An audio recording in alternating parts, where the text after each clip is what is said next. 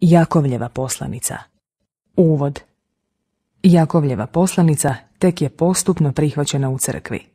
Njezin kanonicitet čini se nije bio osporavan u Egiptu, gdje je Origen navodi kao bogoduho pismo. Eusebije Cezarejski ipak početkom četvrtoga stoljeća zapisuje da su je neki stavljali u pitanje. Tijekom četvrtoga stoljeća unesena je u kanon Novoga Zavjeta u crkvama sirskog jezika. U Africi je još ne poznaju ni Tertulijan ni Ciprijan, a nema je još ni u Momsenovu popisu, oko 360. U Rimu je ne nalazimo u Moratorijevu kanonu koji se pripisuje svetom Hipolitu oko 200. godine, a nije pouzdano da je navodi sveti Klement Rimski ili pisac Hermina Pastira. Tek koncem četvrtoga stoljeća u optjecaju je u svim crkvama istoka i zapada.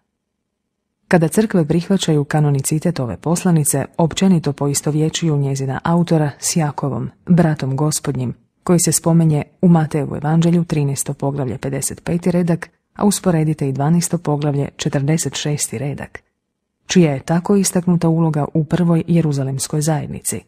Prema dijelima apostolskim 12. poglavlje 17. redak, 15. poglavlje od 13. do 21. redka, 21. poglavlje 18. do 26. redak, prva poslanica Korinčanima, 15. poglavlje 7. redak i poslanica Galačanima, prvo poglavlje 19. redak i drugo poglavlje 9. i 12. redak, bila okrunjena mučeništvom od ruku židova oko 62. godine, kako piše Josip Flavije i Hegesip. Očito je da je taj Jakov netko drugi, a ne apostol Jakov, sin Zebedejev, prema Matejevom evanđelju, deseto poglavlje, drugi redak, kojega je Herod dao pogubiti 44. godine, prema dijelima apostolskim, 12. poglavlje, drugi redak. No možda se može poistovjetiti s drugim istoimenim apostolom sinom Alfejevim, prema Matejevom evanđelju, deseto poglavlje, treći redak. U tom su se već stari kolebali, a naši suvremenici još o tom raspravljaju, naginjući negativnom odgovoru. Pavlov izraz u poslanici Galačanima, prvo poglavlje 19. redak, tumačio se u oba smjera. U ostalom pravi je problem drugčije i dublje. Njegovo je težište u samom pridjevanju te poslanice Jakovu, bratu gospodnjem. To pridjevanje nije bez teškoća. Ako je doista bila napisana od takve prvorazredne osobe, teško bi se razumjelo oklijevanje da je crkva prihvati kao kanonski spis. Nadalje, sastavljena je izravno na grčkom i to otmjenom, s bogatim riječnikom, s govorničkim umjećem, osjeća se stil grčke dijatribe, što ne bismo očekivali kod jednog Galilejca. Bez sumnje, Jakov se mogao poslužiti pomoću nekog učenika, helenistički naobražena, ali se to ne može dokazati. Konačno i nada sve poslanica pokazuje veoma veliku srodnost sa spisima sastavljenima koncem prvoga stoljeća ili početkom drugoga, posebno s prvom Klementovom poslanicom i Herminim pastirom.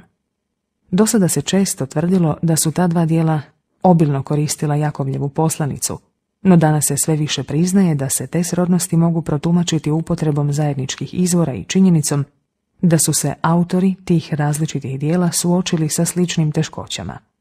Dosljedno, brojni autori danas stavljaju nastanak Jakovljeve poslanice pod konac prvog ili čak početkom drugog stoljeća.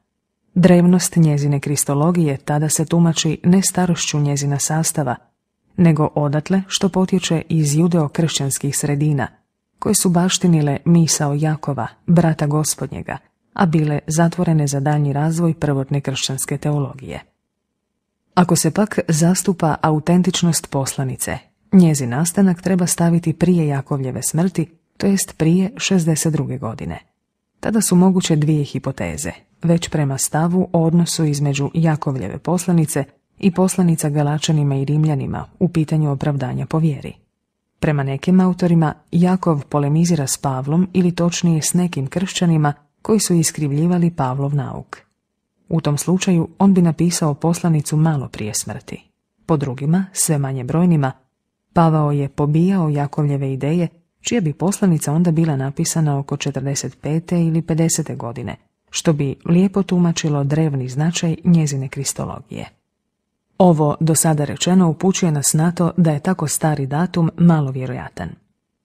Bilo kako bilo, u vezi s podrijetlom poslanice, spis je upućen 12 plemena raseljeništva prema prvom poglavlju prvom redku. Zacijelo kršćanima židovskog podrijetla raspršenima u grčko-rimskom svijetu, nada sve u graničnim područjima s Palestinom kao što su Sirija ili Egipat. Da su naslovnici obraćenici iz židovstva potvrđuje cijela poslanica. Pisac se stalno poziva na Bibliju, što pretpostavlja da im je dobro poznata. Tim više što je autor u svojim dokazivanjima izričito ne navodi, kao što na primjer čini Pavao ili autor poslanice Hebrejima, nego je primjenjuje spontanim podsjećanjima ili aluzijama koje se svugdje naziru. Posebno se nadahnjuje na mudrosnoj književnosti i odatle izvodi pouke za praktični moral. Ali u isto je vrijeme uvelike ovisan o naucima evanđelja, pa tako njegov spis nije samo židovski, kako se je katkada tvrdilo.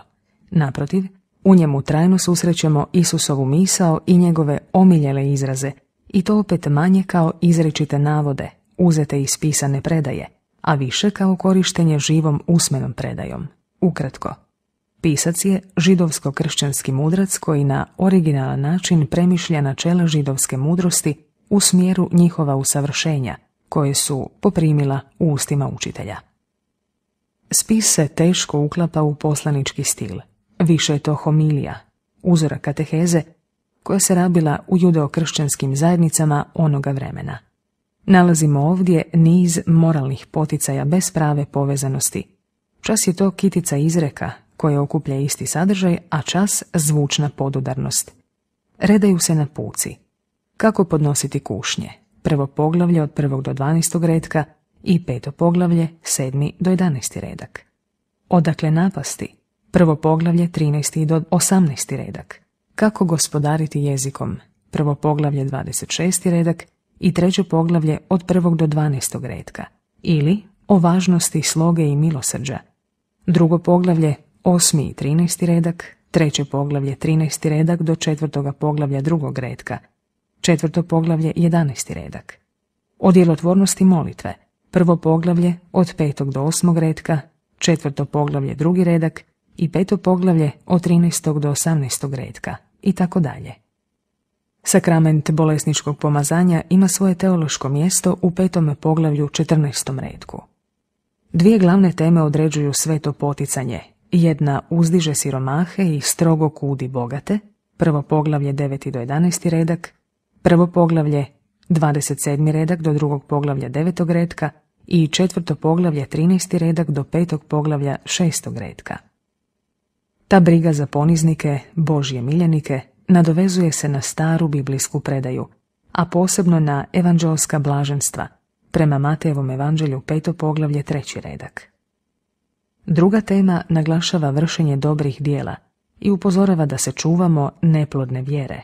Prvo poglavlje 22. do 27. redak i drugo poglavlje 10. do 26. redak. U tom ovdje nalazimo i polemičku raspravu drugo poglavlje, 14. do 26. redak, za koju mnogi tumači drže da je uperena protiv Pavla. Treba doista priznati da ima vrlo upadnih dodirnih točaka između Jakovljeve poslanice i poslanice Galačanima i Rimljanima, posebno u različitom tumačenju istih biblijskih tekstova o Abrahamu. Nije nemoguće da se Jakov htio suprotstaviti, ako li ne samom Pavlu, a ono bar nekim kršćanima koji su iz njegova nauka izvodili kobne zaključke. Treba ipak ustvrditi dvoje. Prije svega, iznad površinskog suprotstavljanja koje uvjetuju različite situacije, Pavao i Jakov slažu se u bitnome. Prema drugom poglavlju 14. redku. Nadalje, ova tema vjere i dijela, što je tako naravno izvirala iz datosti židovske religije, mogla je veoma lako pružiti tradicionalni poticaj za raspravu koji su dva autora obradila na neovisan način.